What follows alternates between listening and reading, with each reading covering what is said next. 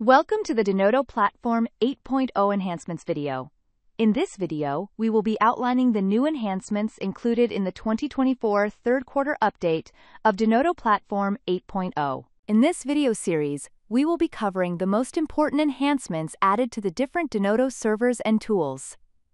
For this specific video, we will review the enhancements for the Virtual Data Port.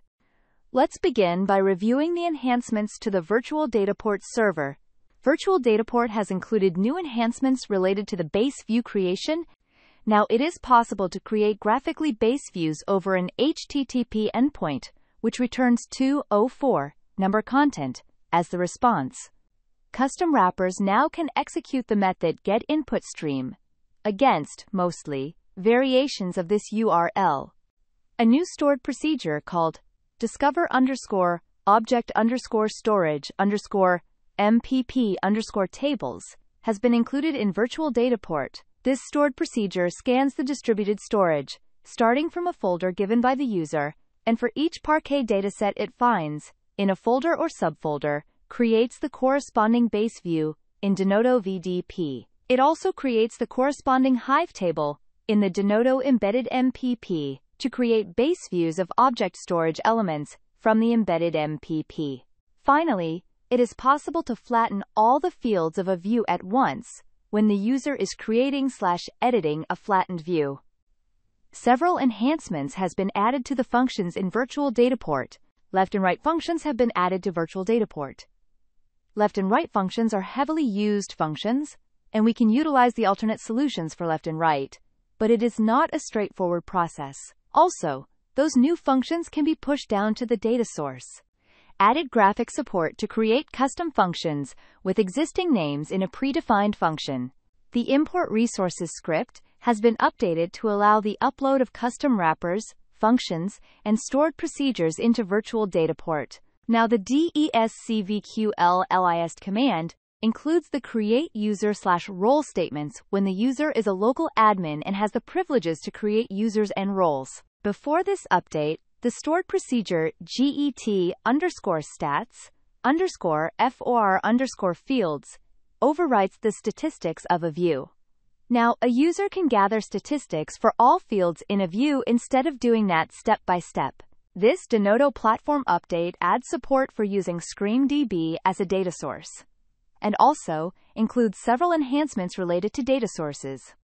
Now it is possible to access all the files located in an SFTP folder or filtered by a regexp expression.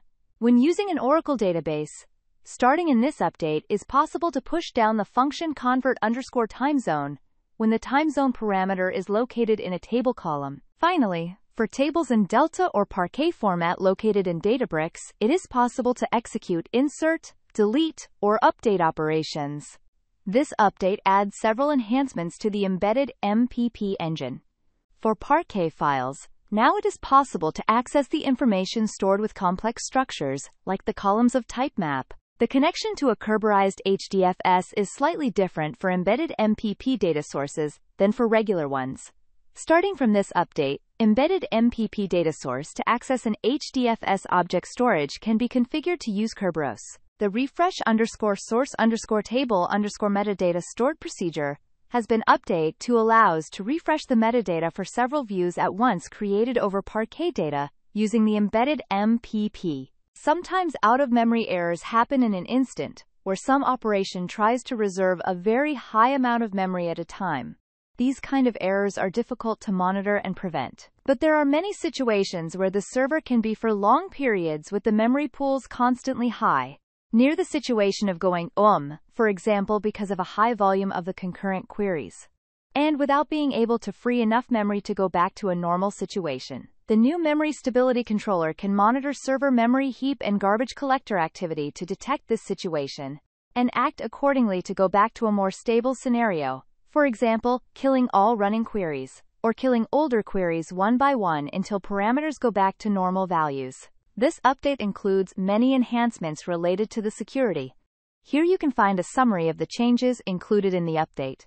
There are many enhancements to add GUI support for several OAuth options in JDBC and ODBC data sources. The ODBC driver also have several updates to retrieve the access token using an OAuth refresh token flow, added the reference of the home directory of a user in the OAuth credentials cache file path connection property, and added support to retrieve data with OAuth authentication with multi-factor authentication enabled. The global security policies have also received several changes that includes the support in the design studio for specifying a wildcard tag name on the custom masking expression at global security policies, the creation of global security policies that restrict application access to users based on their membership in specific roles, and the option to execute the queries originated by execute and download with a specific user agent so these queries can be tracked by the Denodo monitor and or restricted with Regarding the Credentials Vault,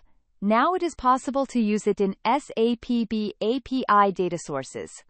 For the users and roles, it was added the new roles, manage underscore policies, for extending segregation of privileges support, read underscore all underscore privileges, for allowing to read all users' privileges, but not modifying them. Assign underscore VD underscore admin underscore privileges, to allow granting slash revoking privileges to users slash roles on the elements of the administrated databases. Design underscore studio underscore allow underscore login to control access to Design Studio. And finally, now it is possible to implement a security policy that limits the number of rows without allowing it to be bypassed by the offset clause. And was added support for Kerberos constrained delegation without protocol transition. Thanks for watching this video about new features for the virtual data port. If you want to learn more about the different enhancements added in the Denodo first quarter 2024 update, you can watch other videos in this series, or you can check the new features guide of the Denodo Platform 8 documentation. Thank you.